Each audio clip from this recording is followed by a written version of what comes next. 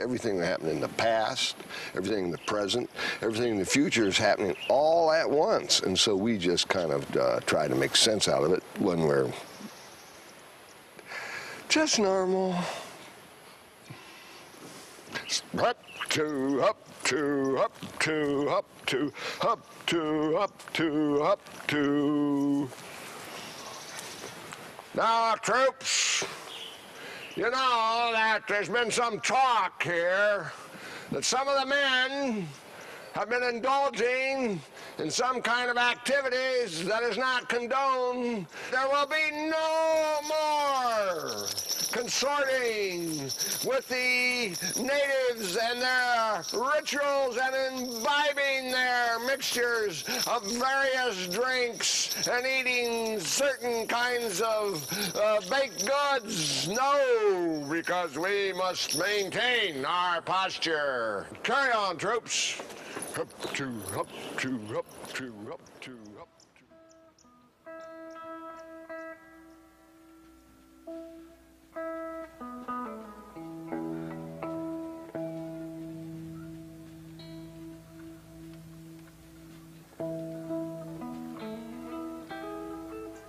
were just fantastic people, you know, that you know, put them up against the uptight society we had at that time. And they were a beautiful thing. Everyone was a few feet off the ground that day. We're all on the same planet. We're all in the same place right now. And we're all high. And we're higher because we're all together. Oh, it's like the gypsies. You know, we get together. It's a tribal stomp. That whole counterculture revolution we moved up the coast here. They were into community and family. That's what the people in Eugene were into.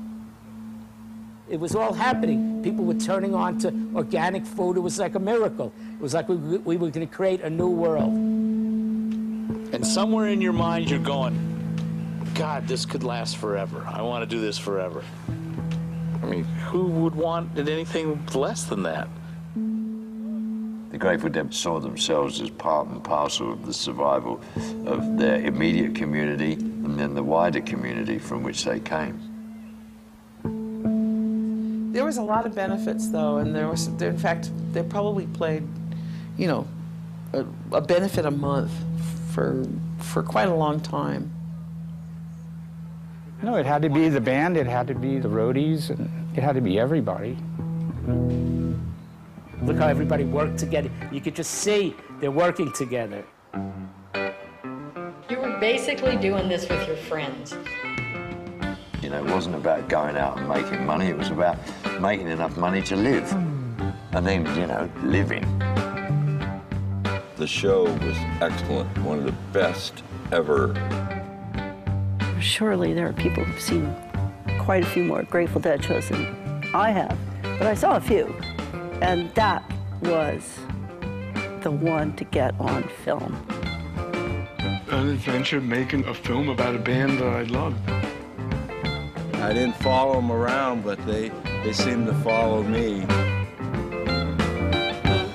For a while at the China Cat Sunflower Town, walking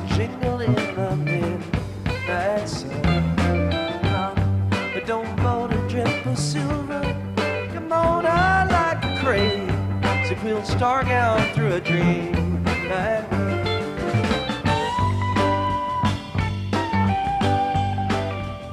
Ken's influence on all of this is you can't underestimate any of that. This connection with the Grateful Dead happened because of Ken.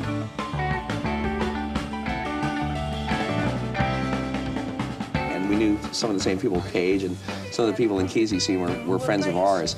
And um, we, we were playing in bars and things like that, but we'd heard about Kesey and the Bus and their whole, the, they've been doing outrageous things for quite a while. He was famous already for giving parties and uh, notorious, I should say.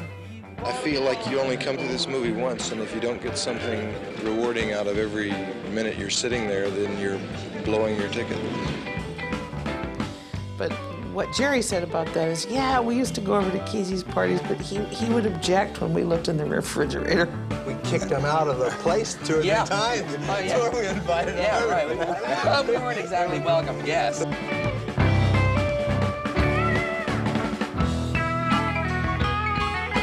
Yeah, the whole thing is about uh, yogurt, milk, and that whole scene with the Springfield Creamery. It was just all part of one thing the Grateful Dead, the yogurt, the natural foods. The whole organic food movement really, really was born here.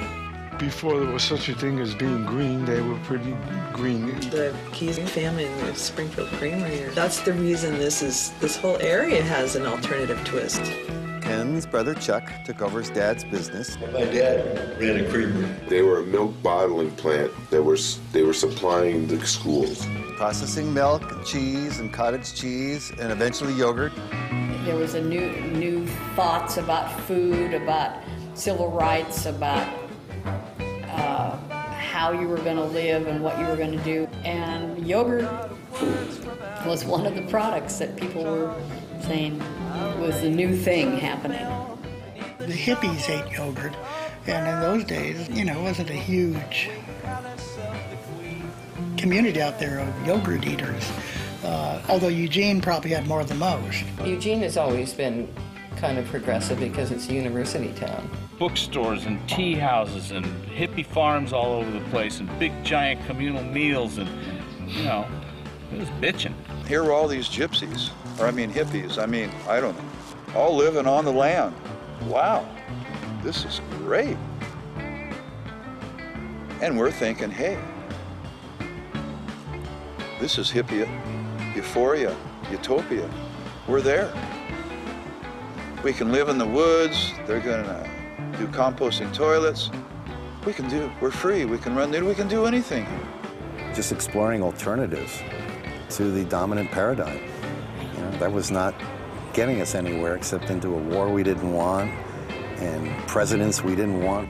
So it was a transition, you know, they, they just didn't know, they, they were, well, particularly Springfield, didn't know what to do with us. They didn't know if we were okay or if we were bums. Basically, you know, the, the city was uh, was worried about us because of the association with Ken and the hippies and worried about drugs. And, you know, so they got wind that we had hippies delivering milk to the schools. Oh my, you know, we had to go defend our position, you know, why we had these people. And Chuck just looked at him and said, listen, if it wasn't for these hippies, I wouldn't even be in business. the work had to get done. You know, the dishes had to be washed, the gardens had to be planted, the houses were being built, relationships were being created amongst individuals and amongst the entire community. And we were we were learning about how to create that stuff. You know, it wasn't like any of us really knew how to do it. We weren't concerned about making so much money as we were building a lifestyle. You know, there were these big communes in various places, all rural. Everything was make it yourself. Right, right. I mean, on the back of the wood stove, you know, we had a big cauldron back there to keep the water at the right temperature. Mhm. Had a thermometer bobbing in it, you know, so and jars of milk in there overnight. And the morning you'd come down and there'd be yogurt. You'd say yogurt, and people say, what's that? Having come from San Francisco, Russian yogurt was there and Greek yogurt. When I came to Oregon, there wasn't any good yogurt. And uh, there was just kind of that sort of grocery store, oversweetened, colored, uh, kind of fake flavors, you know, g- not great yogurt. And um, so I thought, well, I need. I guess I need to make my own yogurt. she was the, definitely the magic behind the yogurt. Chuck and I worked on it together at the creamery. You know, we lowered the, the butter fat and uh, we added some honey just to take the edge off it. It was so good. It was like nothing you ever tasted before. It didn't have gelatin, didn't have white sugar, didn't have with other natural flavors. Nancy and Sue and Black Maria would go out and pick the blueberries on Kesey's farm. I was one of the first yogurt makers, and we'd take five gallon buckets and I'd pour it up by hand in all these little eight ounce cups. And the first labels were these little uh, square stick on things that, that I'd uh, drawn. Little natural food stores were popping up right here in town, and we said, well, let's make yogurt for them. And that's where it all started.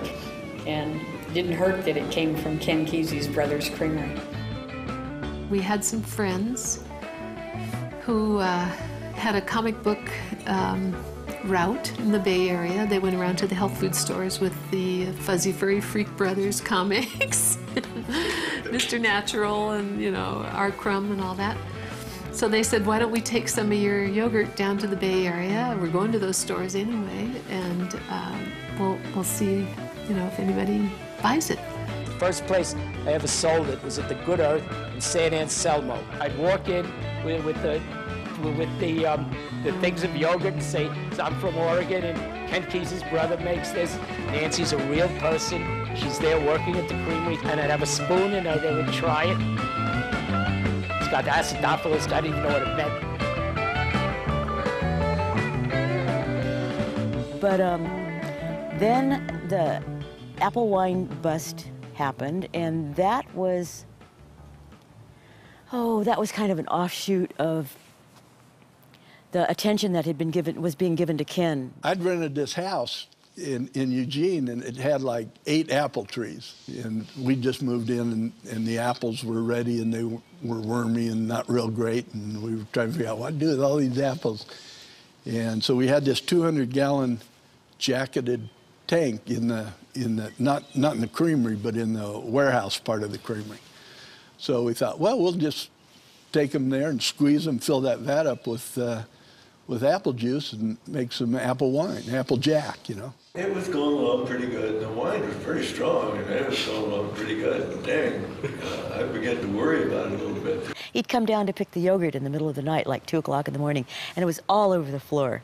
And he was, And somebody had pulled the damn plug out of the apple wine vat and spilled it on the floor. We're right across the street from the police department too, which wasn't real smart. And, and they were watching us like a hawk, thinking that we were probably dealing drugs or something. I came back the next morning, and there were 25 cops standing there.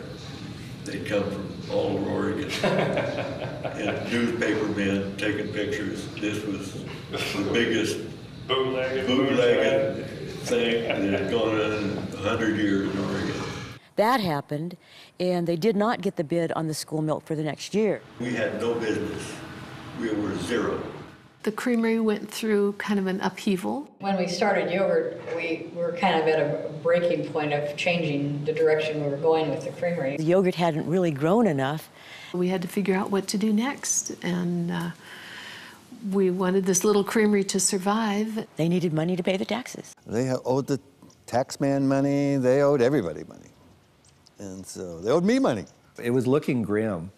And Bud says, we're, I'm in the middle, Chuck's driving, and Bud's in the passenger seat. And he says, Man, we need a good money making idea. And just instantly popped into my head look, you guys know the Grateful Dead, don't you? They do a benefit concert. Chuck says to me, he says, Well, we'll send Maria down to ask the Grateful Dead if they'll do a benefit concert for us. She and Bud and Chuck went down and talked to the to the dead and and really talked to Ramrod. He was the one who took it to the dead and said, "We need to do this. These are good people." He didn't have to tell us they were good people, but but he was the guy that sold the crew. Well, for one thing, he was one of the Oregon people, you know, and uh, uh, was part of, kind of felt like he was part of our group, you know. He came up with Hagen's and, and them. Hagen was the one that got us all there. He started it all. Hagen and Ramrod were the first guys with the with the Grateful Dead. Rex was the next guy down there, and then Heard. So whenever they needed another guy uh, to work for the band, uh, they'd they'd come get their guys from here. You know, that's just how it how it went. Uh, you went back and got the guys you trusted and relied on. One of the things I think Ramrod had, you could just feel the energy coming up through the ground through him, you know. He would have been a very strong supporter. His voice, he would have said, Yeah, righteous, do it, in probably that, that many words.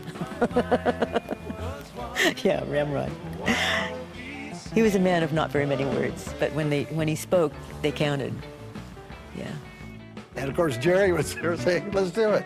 That's what you're supposed to do. that was part of our ethos, you know what I mean, man? If you're part of a collective scene, right, if somebody breaks down and need, needs help on any level, then of course you help them. Jerry always said yes to family. There were some people, man, that the Grateful Dead loved. They were, by extension, the Grateful Dead's family. So when they, you know, asked for help for the creamery, wasn't it, you know? Of course, you know, the Grateful Dead instinctively just said, of course, we'll, you know, we'll do it. Then it was, well, how are we going to do it?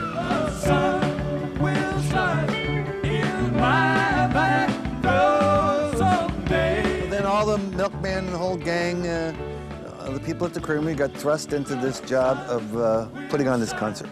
It was kind of this 28-day rush of, of uh, getting this all together and doing something we'd never, none of us had ever done. Jeff and I, we had, neither of us had ever done anything like this. We, you know, we were feeling our way. We didn't know what we were doing. Uh, we didn't know how much money to charge. Chuck called me up and says, "You want you to go and meet these uh, guys that had toured Europe with the Grateful Dead." John, Sam, and myself went on the Europe 72 tour. We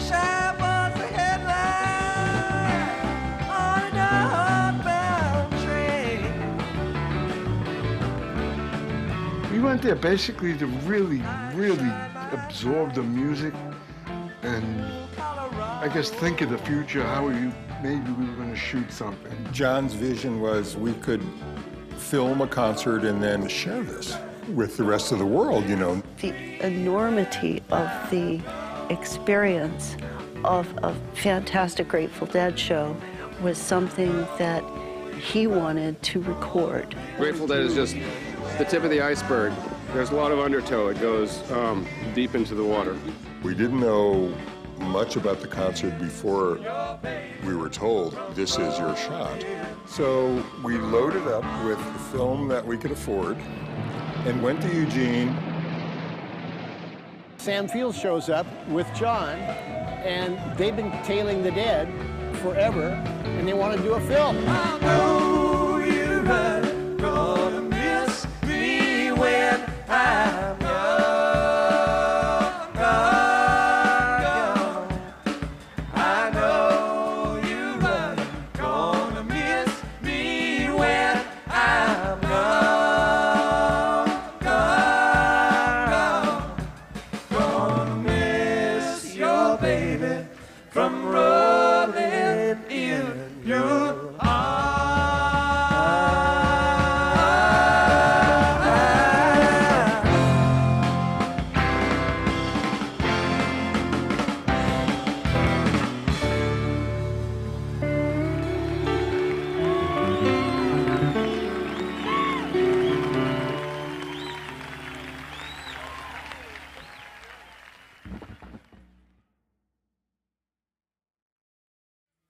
God, I mean, any dead show in 1972 was manna. It was, you know, water coming from the skies on a parched earth. The word spread like wildfire, I guess. And one person told another person who told another person the Grateful Dead are going to do this free concert. Uh, my brother pedaled off over to Springfield Creamery, uh, and I think it was 350 that uh, I'd sold out for that hard-earned concert ticket. The creamery, that was really big. That was as big for me as, as the Grateful Dead being there. So if they're needing a fundraiser, of course, we want to support them. Everybody was talking about there's going to be this benefit. We're going to work on setting it up with the hog farm and the pranksters. We loaded up a bunch of kids and uh, took them uh, to Oregon. So we all got on the rainbow bus and went up there. The traffic jam backed up to Fern Ridge. I might have rode up in the back of a flatbed truck with like 10 other people. And it took us a long time to get there. The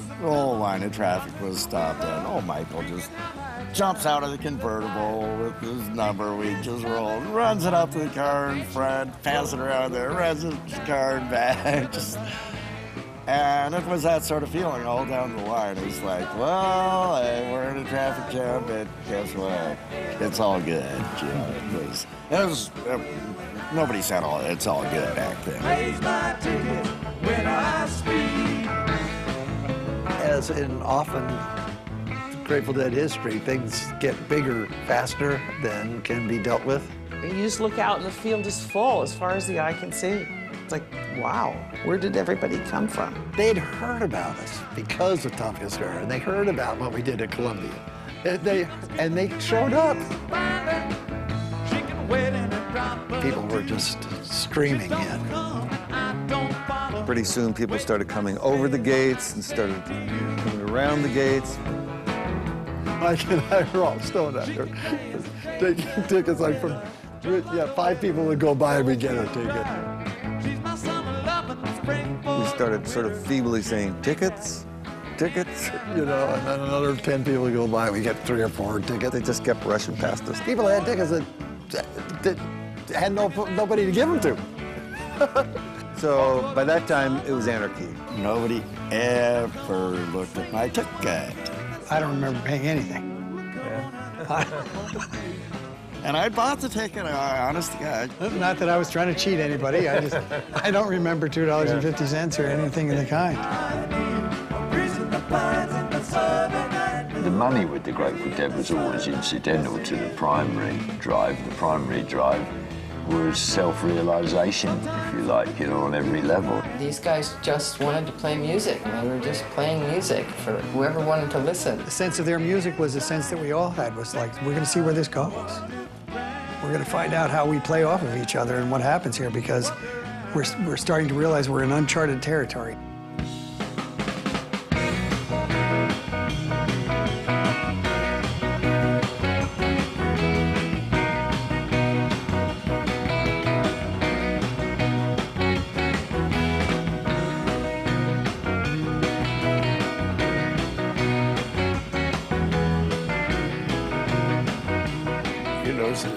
Much of uh, of the, the glory of the Grateful Dead is the love affair between the band and the audience. They were with us, no matter how loose the music got. There's something when when it clicks in the studio or live, there's something magical happens. You could feel that. Of course, it was the hottest day of the year, too.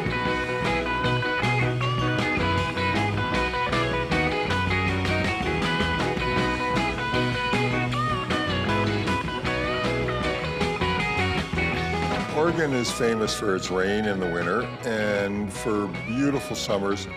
Usually it doesn't get too hot. This day, it decided to get really hot. It started out really warm, and uh, it got warmer. It was the hottest Oregon has ever seen. It was a uh, scorcher, as I can remember. Because it was hotter than fuck.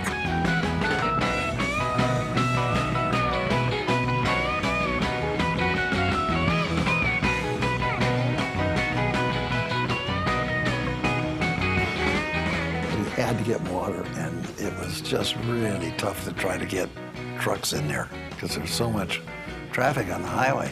They made an announcement about the water truck uh, that it was going to come around and spray everybody. So hang in, and we're gonna move with the truck just so you know what you're getting hit with, so nobody thinks it's something weird coming down on them. It's just water from the creek. So the big tank came in, and somehow the guy who was driving it either just abandoned it, got stoned, and just got into the audience and got into it, but it was just empty and the keys were in it. And we're getting ready to let loose, and there's this little kid who is also on the truck, and he says, This stuff smells like sewage. As it turns out, it was the guy who was picking up the shit from the porta potties. It's not hot enough. I'd never really been in a uh, place where there's a whole lot of public nudity. I never did get used to walking around without any clothes on. I'll tell you that. We're all born without clothes. Nobody was Well, embarrassed or anything. You know, it was just like that's just the way it Except was. for me. Well, yeah, you always were. Don. people expanding their their horizons and their brains and their mind. You're liberated for a while from the chains of language and you're in another place, in another dimension, you know. Another, you know, parallel universe. That was really one of the most mar- marvelous parts of the early days of a Grateful Dead concert was that uh, group focus um, on the multitude of things going on at the, uh, at the same time.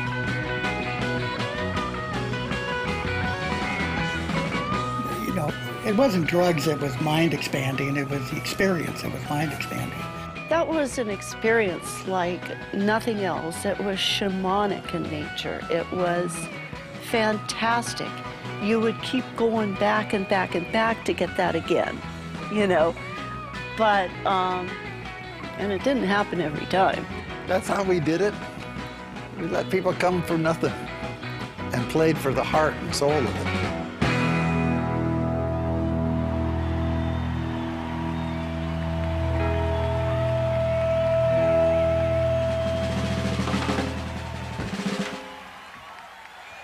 Interesting thing, of course, about the Grateful Dead was that search, whilst it's an individual search, gets enriched by making it a collective search. And the coming together within the orbit of a Grateful Dead concert. And it turned the corner for us, amazingly.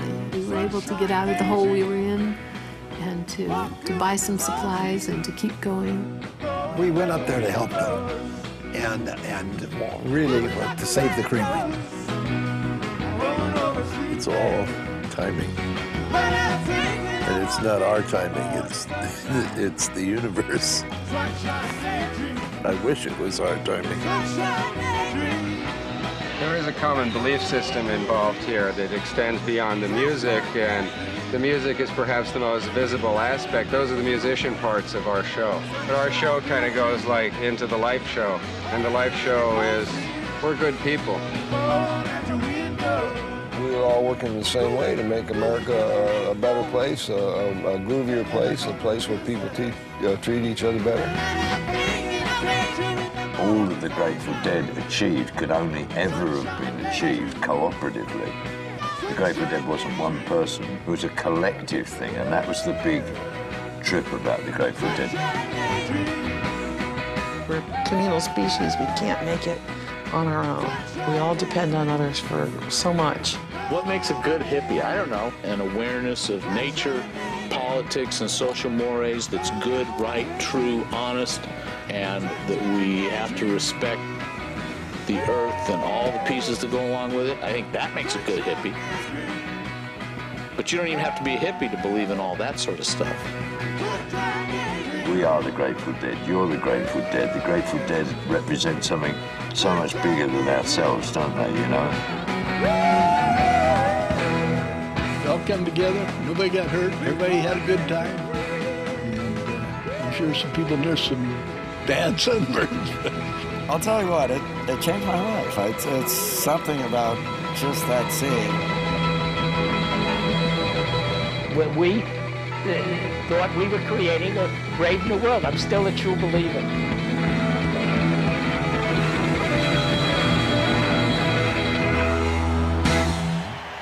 Thank you. Okay, we all happy here? Okay, well, nice talking to y'all, and uh, be seeing you around the uh, uh, universe. Bye.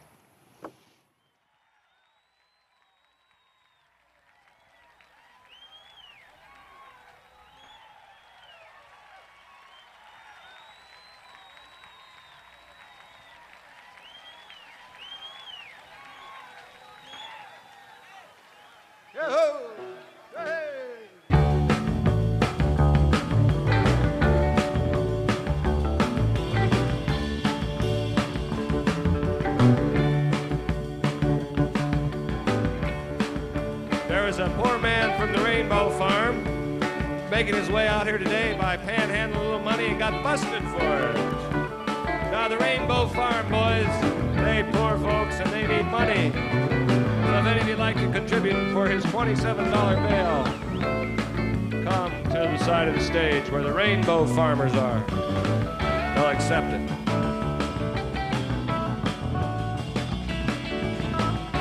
We haven't had a report on the water truck for a long time.